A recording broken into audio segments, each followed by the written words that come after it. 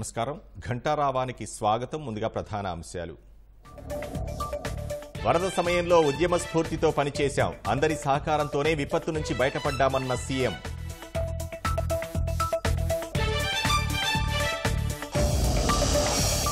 రాష్ట్రంలో పెట్టుబడులకు విస్తృత అవకాశాలు. పరిశ్రమలకు మౌలిక సదుపాయాలు కల్పిస్తున్నామన్న లోకేష్.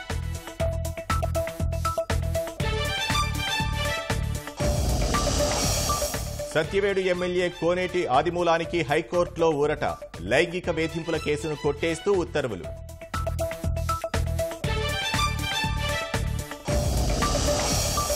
దేవాదాయ శాఖను ప్రక్షాళన చేయాలన్న స్వామీజీలు. తిరుమల పవిత్రతను కాపాడాలని ప్రభుత్వానికి వినతి.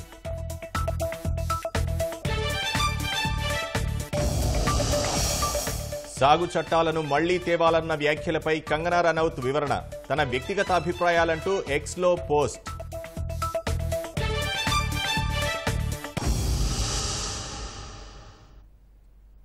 తిరుపతి జిల్లా సతివేడు ఎమ్మెల్యే కోనేటి ఆదిమూలానికి హైకోర్టులో భారీ ఊరట లభించింది.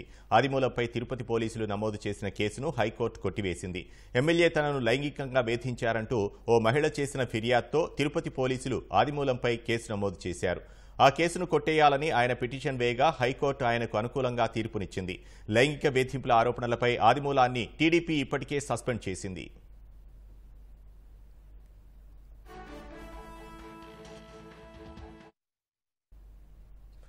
జనసేనలో చేరికకు రంగం సిద్ధం చేసుకుంటున్న మాజీ మంత్రి బాలినేని శ్రీనివాసరెడ్డి ఫ్లెక్సీలు చించేయడం ఒంగోలులో కాకరేపుతోంది. రేపు పవన్ సమక్షంలో బాలినేని జనసేనలో చేరనున్నారు. ఈ సందర్భంగా బాలినేని అనుచరులు ఒంగోలులోని పలు ప్రాంతాల్లో శుభాకాంక్షలు తెలుపుతూ ఫ్లెక్సీలు ఏర్పాటు చేశారు. గుర్తు తెలియని వ్యక్తులు అర్ధరాత్రి వాటిని చించేశారు. బాలినేని చేరికను జనసేనలోని ఒక వర్గంతో పాటు తెలుగుదేశం శ్రేణులు వ్యతిరేకిస్తున్నాయి. ఈ నేపథ్యంలో బాలినేని ఫ్లెక్సీలు చించేయడం రాజకీయంగా చర్చనీయాంశమైంది.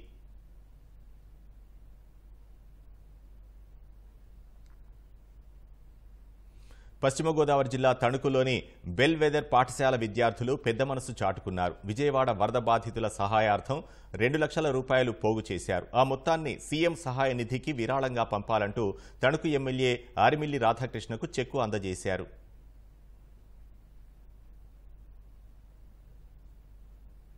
తణుకు నియోజకవర్గం నుంచి ఇప్పటికే అనేక మంది దాతలు సీఎం రిలీఫ్ ఫండ్కి పెద్ద ఎత్తున విరాళాలు అందించడం జరిగింది. మంచి హృదయంతో స్పందించి బాధితులందరికీ అండగా నిలబడాలి. గౌరవ ముఖ్యమంత్రి నారా చంద్రబాబు నాయుడు గారు ఇచ్చినటువంటి పిలుపు మేరకు మనకందరం వారికి కూడా మనందరం కూడా తోడుగా ఉండాలనే ఒక ఆశయంతో ప్రతి ఒక్కరు కూడా పెద్ద ఎత్తున ముందుకు రావడం జరిగింది. ఇప్పుడు బెల్వేదర్ ఇంటర్నేషనల్ స్కూల్కి సంబంధించి డైరెక్టర్ దీపక్ గారి ఆధ్వర్యంలో వారి స్టూడెంట్స్ కలెక్ట్ చేసినటువంటి రెండు లక్షల రూపాయలు ఈరోజు విరాళాలని చెక్ ద్వారా కూడా అందించడం జరిగింది. బెల్వేదర్ స్టూడెంట్స్ అందరికీ కూడా హృదయపూర్వక ధన్యవాదాలు తెలియజేస్తూ మేనేజ్మెంట్కి టీచింగ్ స్టాఫ్కి నాన్ టీచింగ్ స్టాఫ్కి అందరికీ కూడా ధన్యవాదాలు తెలియజేస్తాను మూడు రోజులుగా కురుస్తున్న వర్షాలకు కడప జిల్లాలోని పలు కాలనీలు జలమయమయ్యాయి. రామరాజుపల్లి లోహియానగర్ అల్లూరి సీతారామరాజు నగర్ మృత్యుంజయకుంట భాగ్యనగర్ కాలనీ అశోక్ నగర్ కందిపాలెం తదితర ప్రాంతాల్లో రహదారులపై నీరు పారుతోంది. లోహియానగర్ జనం తీవ్ర ఇబ్బందులు పడుతున్నారు. డ్రైనేజ్ వ్యవస్థ సరిగా ఉంటే ఈ ఇబ్బందులు తప్పేవని స్థానికులు అంటున్నారు. ఉండయ్యా ఈ మాదిరి. ఆ, పైకి ఇంకా ఎక్కిందా ఇక్కడ? ఇప్పుడు కొంచెం తగ్గిండాయి నిన్నంతా క్లీన్ చేసిపోయినారు. మళ్ళా మామూలుగా ఇచ్చినాయి నీళ్ళు. ఆ, మా ముసలాయన కూడా ఇట్లా ఎక్కుతా కింద పడినాడు ఈ నీళ్ళల్లో. ఆ బ్యాంకి కాలనీలో నీళ్ళన్నీ ఇట్లనే ఇడుచున్నారు ఆ రోజు ఈ మాదిరి వచ్చంటే ఎన్ని రోజులు అని ఉండాలయ్యా మేము? ఇళ్ళల్లోకి దూరుతాండాయి నీళ్ళు కూడా. కాలు పెట్టేదానికిలే. ఇన్ని కాలంలో ఒక ఒక దానికి కాలు పెట్టినారు? ఆ పక్క పోలే ఈ పక్క పోలే. లేక పోతున్నాయి నీళ్ళు. వైసీపీ కక్ష రాజకీయాలు పౌరుల్ని వెంటాడుతూనే ఉన్నాయి. వైఎస్సార్ జిల్లా బద్వేల్ మున్సిపాలిటీ పరిధిలోని సురేంద్రనగర్ రహదారులు చిన్నపాటి వర్షానికి జలమయం అవుతున్నాయి బ్రహ్మంసాగర్ నుంచి నీటి సరఫరా కోసం పైపులు వేసేందుకు రోడ్డు తవ్వి వదిలేశారు.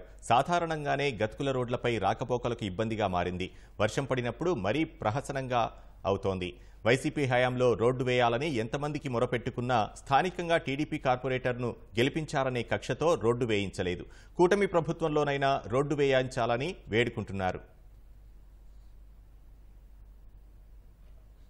తిరిగినా కూడా ఆఖరికి రాజగోపాల్ రెడ్డి మేము వేయము. మీరు పోయి మీరు టీడీపీ వాళ్ళు అన్నారు ఇప్పుడు కమిషనర్ కాడికి పోతే కొంచెం నాకు సరే సానుకూలంగా స్పందించినాడు. వేస్తాము మీరు ఏదో ఒకటి నలుగురు కూడి ఏదో చేసుకోండి అని చెప్పేసి చెప్పినాడు. ఈడ పాలు కానీ నీళ్ళు కానీ ఏ ఏ కానీ రోడ్డు మీద నిలబడాల్సిందే కానీ ఇవి వచ్చే ఓటం లేదు. ముసిలోళ్ళు పిల్లోళ్ళు ఎన్నో మాటలు పన్నారు.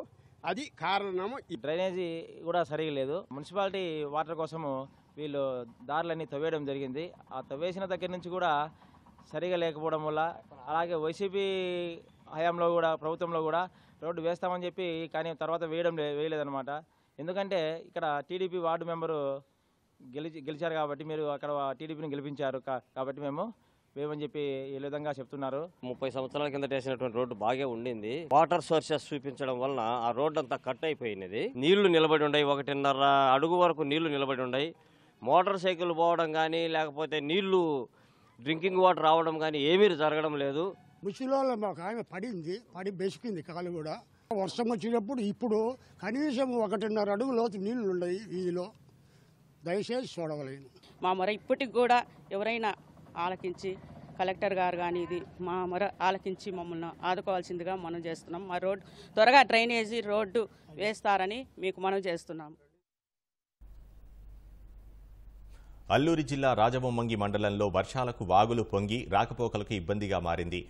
అమ్మిరేకుల కిమ్మెలగడ్డ మార్గంలో ఓ వాగు దాటేందుకు ద్విచక్ర వాహనదారుడు విఫలయత్నం చేశాడు. ప్రవాహ వేగానికి బైక్ కొట్టుకుపోగా చోదకుడు బయటపడ్డాడు. ఆ తర్వాత స్థానికులు కష్టపడి వాగులో చిక్కుకున్న బైక్ను బయటకు తీశారు.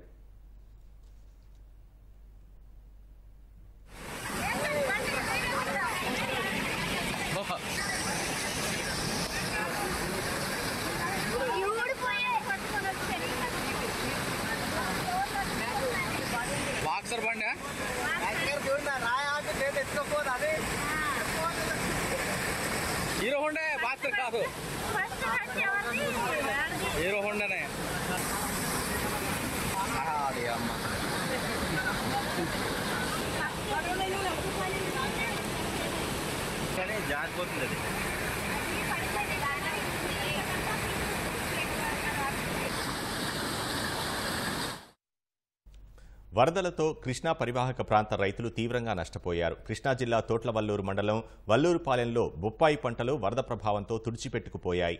నదీ పరివాహక ప్రాంత గ్రామాల్లోని వరి చెరకు అరటి కంద పసుపు వంటి పంటలు పూర్తిగా దెబ్బతిన్నాయి.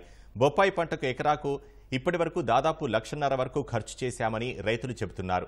మరొక రెండు నెలలు ఉంటే పంట చేతికి వచ్చేదన్నారు. పంటను కోల్పోయిన తమను ప్రభుత్వం ఆదుకోవాలని వారు కోరుతున్నారు. కృష్ణా జిల్లాలో బొప్పాయి రైతుల ఇబ్బందులపై మరింత సమాచారం మా ప్రతినిధి శ్రీనివాస్ అందిస్తారు.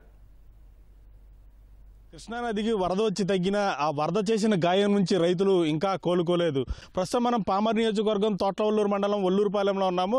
ప్రస్తుతం ఆ దృశ్యాల్లో చూస్తున్నది బొప్పాయి తోట. మరొక నాలుగైదు నెలలు ఆగితే ఈ బొప్పాయి పంట అనేది చేతికి వచ్చే అవకాశం ఉంది. అయితే కృష్ణానదికి భారీ ఎత్తున వరద నీరు రావడంతో ఆ వరద నీటిలోనే ఈ పంట ఉండడంతో బొప్పాయి తోట మొత్తం కూడా కుళ్ళిపోయిందని రైతులు ఆవేదన వ్యక్తం చేస్తున్నారు. ప్రస్తుతం మనతో కొంతమంది ఆ బొప్పాయి తోట రైతులు ఉన్నారు. వారితో మాట్లాడుతూ చెప్పండి ఎంత పెట్టుబడి పెట్టారు? ఎన్ని సంవత్సరాలకు వస్తుంది పంట అసలు? రెండు సంవత్సరాల పంటలో సంవత్సరానికి వచ్చేసి లక్షన్నర వెచ్చేస్తున్నాను దీనికి పెట్టుబడి ధరలో ఇంకొక రెండు నెలలు మినిమం ఉంటే కనుక కంపల్సరీగా కాయ టైట్కి వచ్చి కోసేదాను అనండి. ఏ రొత్తం వలన కొంచెం చేనంతా పంట దెబ్బతినిపోయిందండి ఈ కట్ట కింద నేల పరివాహక ప్రాంతంలో మూడు ఎకరాలు వేసేవండి మూడు ఎకరాల్లో కూడా పోయింది ఇట్లాగ పోయిందండి చేను కూడా. దాన్ని బట్టి ప్రభుత్వం ఏదన్నా మమ్మల్ని ఆదుకుంటే కొంచెం కౌలు రైతులు మళ్ళీ అందుట్లో మళ్ళీ సొంత రైతు కూడా కాదు. మాకు కొంచెం పెట్టుబడులు అన్న సగానికి సగం అన్న వస్తే ఏదో ఒకటి కొంచెం ఒడ్డు పడతామండి.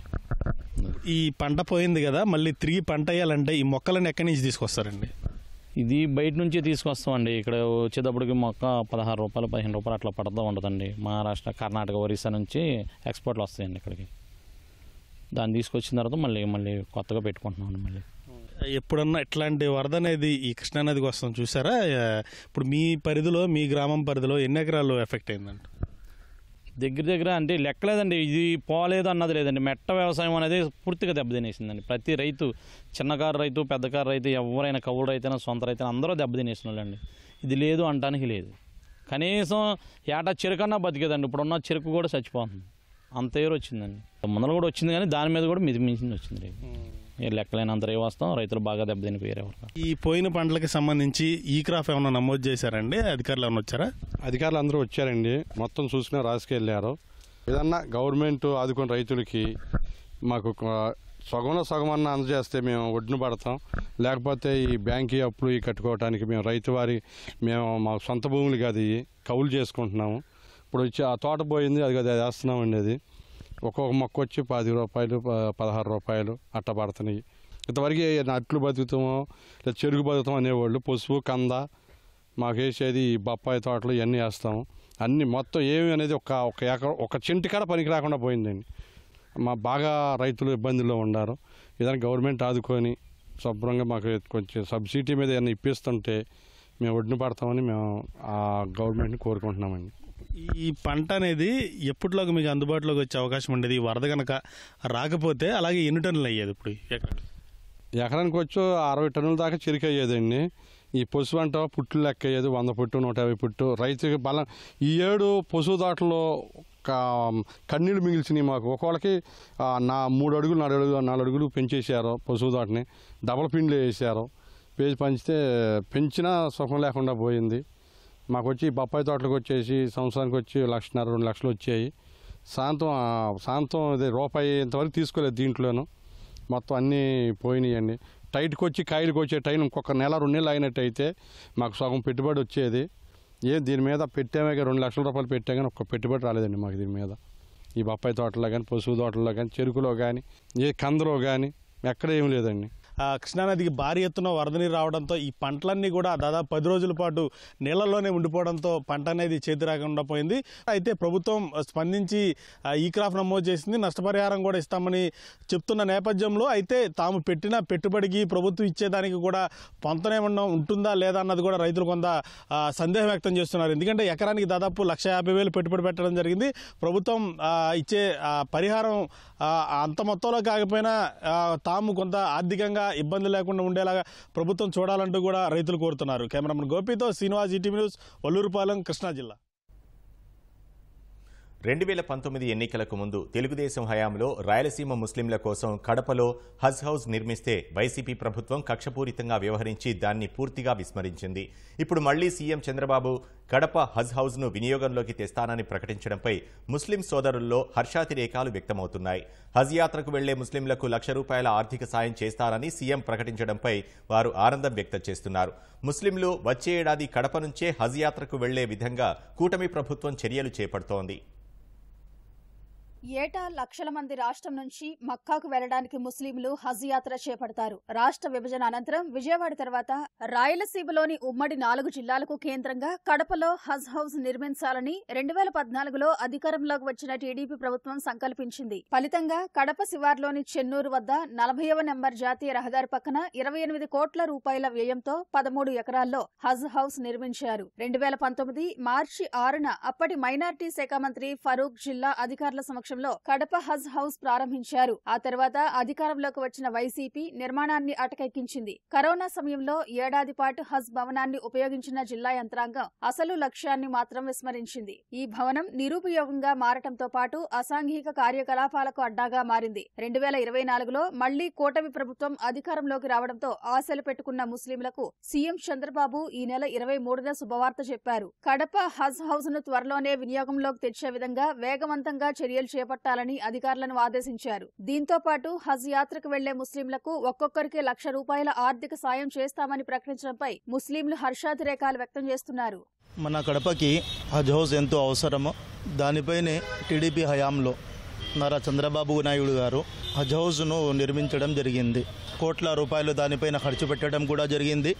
కానీ టీడీపీ ప్రభుత్వం పోయి వైసీపీ ప్రభుత్వం వచ్చిన తర్వాత దానికి నిర్వీర్యం చేయడం కూడా జరిగింది. ఒక నిరాశ చెందిన మైనార్టీ ప్రజలకు మరలా టీడీపీ ప్రభుత్వము ఒక ఆశ చూపిస్తుంది ముమ్మాటికి వైసీపీ ప్రభుత్వంలో హజౌస్ చైర్మన్ గౌసుల్ ఆజం గారిని నిలదీయడం జరిగింది. అలాగే డిప్యూటీ సీఎం అంజద్ బాషా గారిని కూడా నిలదీయడం జరిగింది. కానీ వాళ్ళు హజోస్ పూర్వ వైభోగం తేవడం కోసం ఎటువంటి కూడా చర్యలు తీసుకోలేకపోవడంలో విఫలమయ్యారు. వైఎస్ జగన్మోహన్ రెడ్డి గారి గారికి కూడా మనం వివరించ వివరంగా వివరించడం జరిగింది. వాళ్ళు కూడా పట్టించుకోకపోవడం జరిగింది. కానీ చంద్రబాబు నాయుడు గారు ఆయన క్యాబినెట్లో కేవలం ఒక మినిస్ట్రీగా మన ఎన్ఎండి ఫారూక్ గారు రావడము దాని తర్వాత హజౌస్కి ఇంత పూర్వ వైభోగం ఇవ్వడం చాలా సంతోషంగా ఉంది. కేవలం ఇరవై శాతం పనులు పూర్తి చేస్తే హజ్ హౌస్ వినియోగంలోకి వచ్చేది. గడిచిన ఐదేళ్ళ నుంచి వైసీపీ ప్రభుత్వం పట్టించుకోలేదు. గడిచిన ఐదేళ్ళుగా సీమలోని ముస్లింలంతా హజ్ యాత్రకు వెళ్ళాలంటే విజయవాడ నుంచి వెళ్ళేవారు. ఏటా ముస్లింలు రాయలసీమ నుంచి దాదాపు ఐదు వేల మంది వరకు హజ్ యాత్రకు వెళతారు. ప్రస్తుతం సీఎం చంద్రబాబు ఈ హజ్ హౌస్ను వినియోగంలోకి తీసుకురావాలని పట్టుదలతో ఉండటంతో వచ్చే ఏడాది ఏప్రిల్ మే మాసంలో హజ్ యాత్రకు వెళ్ళే ముస్లింలు ఇక్కడి నుంచి వెళ్ళే విధంగా కూటమి ప్రభుత్వం చర్యలు చేపడుతోంది. గడిచిన ఐదు సంవత్సరాల్లో అది చాలా హీనంగా ఏంటంటే హాజీల ఇక్కడి నుంచి పంపించాల్సి పోనిచ్చేసి మనోభావాలు దెబ్బతిన్నట్టుగా పవిత్రకు భంగం కలిగేటట్టుగా అక్కడ కార్యక్రమాలు జరిగాయి. ధర్నాలు ఎన్నోసార్లు వినతి పత్రాలు ఇచ్చినా కూడా ఇక్కడ సరైంది కాదు. టీడీపీ వాళ్ళు ఇక్కడ చేశారే కానీ ఇక్కడ స్థలం మంచిది కాదు ఇది కాదు అది కానీ సాగులు చూపించేసి ఇప్పుడు ఆ దాని పరిస్థితి ఎట్లా ఉన్నారంటే దాని మీద పిచ్చి మొక్కలు వేసి టైల్స్ ఊడిపోయి కింద ఫ్లోరింగ్ అంత నీళ్ళు ఒకటి ఆ బిల్డింగే ప్రమాదకరంగా తయారైపోయింది. చాలా బాధపడ్డాము. కానీ ఇప్పుడు మళ్ళా టీడీపీ ప్రభుత్వం వచ్చిందా దానికి పనులు మొదలు పెట్టున్నారు. చాలా సంతోషకరమైన విషయము. అష్ట కష్టాలు పడ్డాం. హజ్ హౌస్ను పునఃప్రారంభించాలి దాని పవిత్రతను కాపాడాలని. కానీ గత ప్రభుత్వం దాన్ని పట్టించుకున్న దాఖలాలు లేవు. పైగా మా మీద కేసులు కూడా వేయించుకున్నాం. ఏది ఏమైనా కానీ ఈరోజు చంద్రబాబు గారు దాన్ని పునఃప్రారంభించడం పూర్వం తీసుకొస్తానని చెప్పడం హర్షించదగ్గర విషయం. అలాగే పవిత్ర హజ్ యాత్రకు వెళ్ళే వారి కోసం హజ్ కొరకు లక్ష రూపాయలు కేటాయిస్తామని చెప్పడం చాలా మంచి పరిణామం.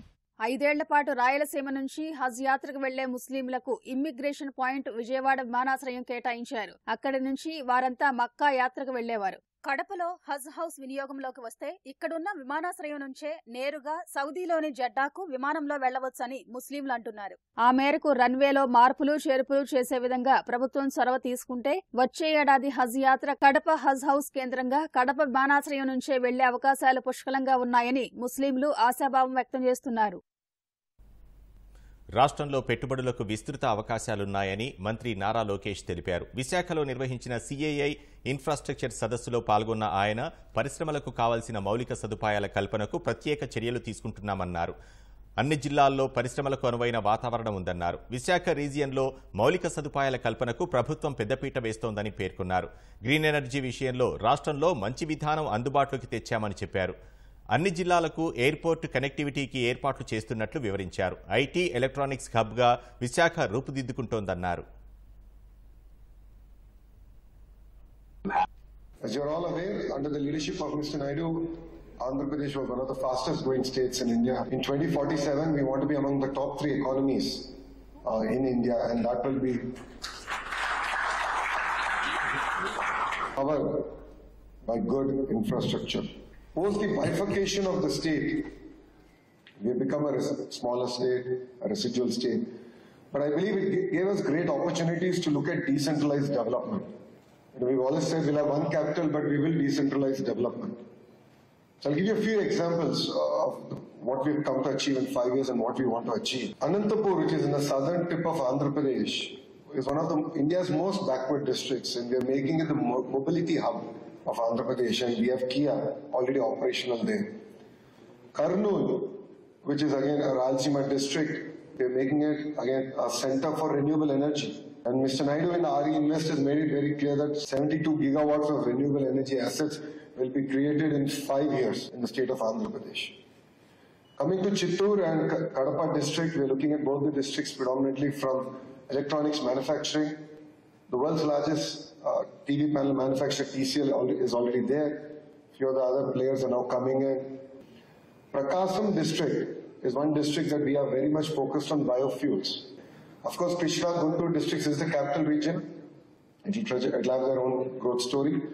As far as the East-West Godawaris, they're actually number one in India in terms of aqua production. So massive investments need to be done there. The entire petrochemical corridor is going to come in that region. And coming to North Andhra, where we're actually seated, this is going to be the hub for uh, IT as far as Andhra Pradesh is concerned. We will make this not the destination in India, but in the world for data centers and AI. And with that vision, we are working. We are working on airport connectivity where all the districts, you know, ease of doing business is of the past. What Mr. Naidu is now talking about is speed of doing business, cost of doing business. No, all of you know it's been just over 100 days since the new government here formed in Andhra Pradesh. And our first promise out of the six promises we made to the public is to create 20 lakh jobs. So the single agenda with which your government is going to work is on creating jobs. So who creates more number of jobs will get a, gre- greater red carpet. Request all of you to look at Andhra Pradesh from that perspective. గత రెండు సీజన్లలో తీవ్ర ఇబ్బందులు ఎదుర్కొన్న ప్రకాశం జిల్లా రైతులకు ఈ ఏడాది కూడా గడ్డు పరిస్థితులు తప్పేలా లేవు. ఒకవైపు వర్షాభావ పరిస్థితులు మరోవైపు ఎగువన కురిసిన వర్షాలకు గుండ్లకమ్మ జలాశయంలోకి నీరు వచ్చినా అవి పొలాల వరకు చేరడం లేదు. దీంతో నారుమళ్ళు సిద్ధం చేసుకున్న వారు నాట్లు వేయాలో లేదో తెలియని పరిస్థితిలో ఉన్నారు. ప్రకాశం జిల్లా గుండ్లకమ్మ రిజర్వాయర్లో గేట్ల ఏర్పాటు పనులు నత్తనడకన సాగుతున్నాయి. ఈ సమయానికి నీరు ఇచ్చి ఉంటే వరి ఇతర ఆరుతడి పంటలు సాగు చేసుకునే అవకాశం ఉండేది. పైగా సంతనూతలపాడు ఒంగోలు నియోజకవర్గ ప్రాంతాల్లో వర్షాభావ పరిస్థితులు నెలకొన్నాయి. కనిష్ట వర్షపాతంతో పంటలు బతికి బట్టకట్టే పరిస్థితి కనిపించడం లేదు.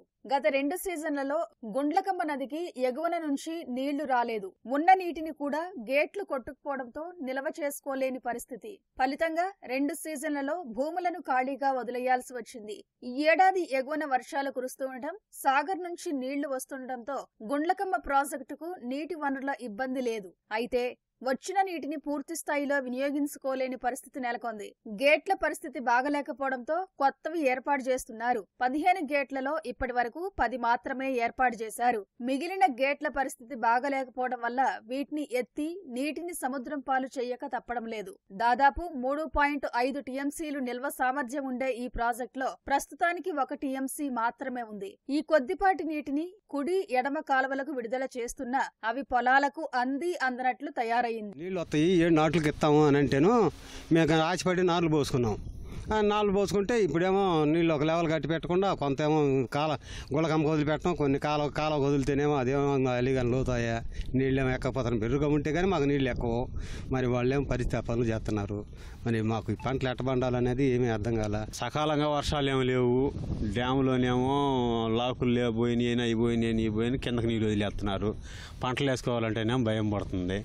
ఈ నీళ్ళు కది సకాలంగా వదిలితే మాకు నీళ్ళు ఇబ్బంది లేకుండా వస్తే పంటలు పండు నీరు వస్తుందని ఆశతో నారుమడలు సిద్ధం చేశారు. దుక్కులకు సిద్ధమవుతున్నారు. కొన్ని చోట్ల నాట్లు వేశారు. కాలువల నుంచి నీరు మాత్రం సక్రమంగా రావడం లేదు. దీనికి తోడు వర్షాభావ పరిస్థితులు నెలకొన్నాయి. సెప్టెంబర్ మొదటి వారంలో కొంతమేర వర్షాలు కురిశాయి. సాగుకు ఉపయోగపడేంత వర్షాలు లేక రైతులు ఇబ్బందులు పడుతున్నారు. పైరుకు నీరు అందక కొందరు నాట్లు వెయ్యాలా వద్దా అనే సంశయంతో మరికొందరు కొట్టుమిట్టాడుతున్నారు. గుండ్లకమ్మ గేట్ల ఏర్పాటు ఆలస్యమవుతూ ఉండటంతో నీరు వృధాగా పోతుందని సీజన్కు ముందే పనులు పూర్తి చేయాలని రైతులు కోరుతున్నారు. గేట్లు రెండు సంవత్సరాలకి సంవత్సరానికైనా ఒకసారి ఈ ఇసుకతో దాన్ని ఇచ్చేసి మళ్ళీ పెయింట్ వేస్తే ఉంటుండేది చేయడం వల్ల తుప్పు మామూలుగా కాదు అసలు.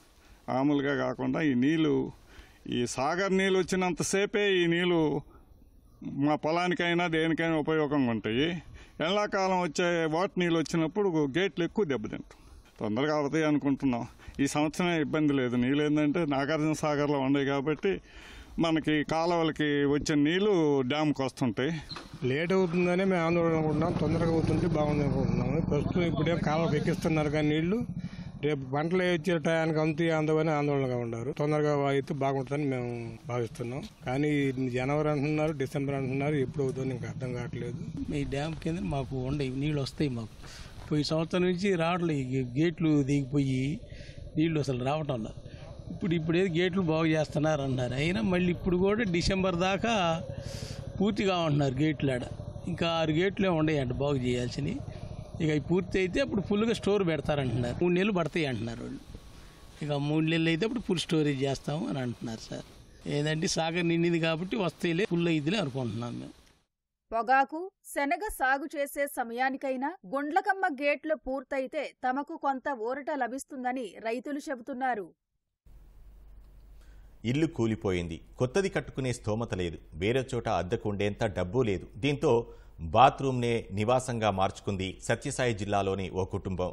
ఇల్లు మంజూరు చేస్తామన్న వైసీపీ మాజీ ఎమ్మెల్యే తిప్పేస్వామి ఊరు దాటగానే హామీని గాలికొదిలేశారు బాధితులు దుర్భర పరిస్థితిని తెలుసుకున్న కూటమి ఎమ్మెల్యే ఎంఎస్ రాజు ఆర్థిక సాయం చేసి ఇల్లు నిర్మించేంత వరకు అండగా ఉంటానని భరోసా ఇచ్చారు.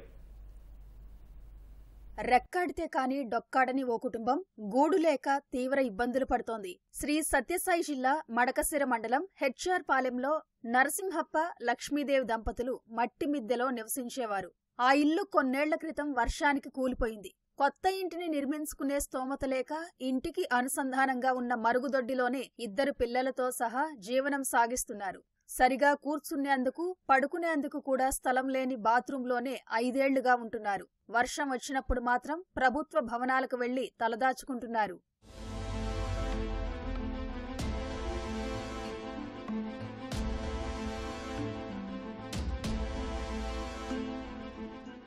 గత వైసీపీ ప్రభుత్వంలో గడప గడప కార్యక్రమంలో భాగంగా ఇంటింటికి తిరిగిన అప్పటి ఎమ్మెల్యే తిప్పేస్వామి నరసింహప్పకు ఇల్లు ఇస్తామని హామీ ఇచ్చారు. కానీ ఆ తర్వాత పట్టించుకోలేదు. బాత్రూంలో ఉండేందుకు తీవ్ర ఇబ్బందులు పడుతున్నామని నరసింహప్ప దంపతులు ఆవేదన వ్యక్తం చేస్తున్నారు. మాది హెచ్ఆర్ పాలెం పక్కల పాతిల్లుంటే పడిపోయింది. బాత్రూమ్లో ఉన్నాము. కూలిపోయి కష్టపడి తినాలి మేము. ఎమ్మెల్యే వచ్చింటే గడప గడపకి ఎమ్మెల్యే వచ్చింటే ఇల్లు అడిగితే ఇస్తామని చెప్పి మోసం చేసిరి ఈ ప్రభుత్వం వచ్చింది మాకు ఇల్లు అనేది ఇవ్వండి కోరుకుంటున్నాము? గత ఐదు ఐదు సంవత్సరాల నుంచి బాత్రూంలో నివసిస్తాను పక్కన ఇల్లు పడిపోయింటే ఎమ్మెల్యే గడప గడప ప్రోగ్రాంకి వచ్చి ఇల్లు ఇస్తామంట అని చెప్పేసి అధికారులను కూడా దండించినాడు కనీసం అధికారులు కూడా వచ్చి ఇంటి మొత్తం కూడా చూడలేదు. కానీ ఇప్పుడు ప్రభుత్వం చేంజ్ అయింది కాబట్టి ఇప్పుడైనా ఎంఎస్ రాజు గారు ఎమ్మెల్యే ఉన్నారు. అని మాకు ఇల్లు ఇచ్చి ఆదుకోవాలని కోరుకుంటున్నాను మీడియా ద్వారా విషయం తెలుసుకున్న ప్రస్తుత ఎమ్మెల్యే ఎంఎస్ రాజు నరసింహప్ప నివాసం వద్దకు వెళ్ళి పరామర్శించారు. ఇరవై వేల రూపాయల ఆర్థిక సాయం చేశారు. కొత్త ఇల్లు మంజూరు చేస్తామని భరోసా ఇచ్చారు. గవర్నమెంట్ ఇల్లు వీళ్ళకి నిర్మించి ఇచ్చేంత వరకు గ్రామంలో ఒక బాడుగ ఇల్లు తీసుకొని ఆ బాడుగ కూడా నేనే పే చేస్తాను. పది నెలలు కానీ పదహైదు నెలలు కానీ గవర్నమెంట్ ఇల్లు నిర్మించేంత వరకు బాడుగ ఇల్లు ఇప్పించేసి తక్షణం జిల్లా కలెక్టర్ గారి దృష్టికి కూడా విషయం తీసుకెళ్ళడం జరుగుతుంది. తక్షణం అతనికి ఇల్లు మంజూరు చేసి ఇల్లు నిర్మించి ఆ కుటుంబాన్ని అన్ని రకాలుగా ఆదుకుంటామని సందర్భంగా తెలియజేస్తూ వెలుగులోకి తెచ్చిన మీడియాకు ధన్యవాదాలు తెలియజేస్తాను